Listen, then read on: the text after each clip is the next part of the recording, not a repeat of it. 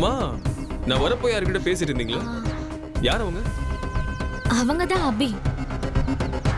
ராகவ் ஆபீஸ்ல வேலை பார்த்துட்டு நின்னுட்டாங்கன்னு சொன்னல. அவங்க கிட்ட நமக்கு எதுக்கு பேச்சு?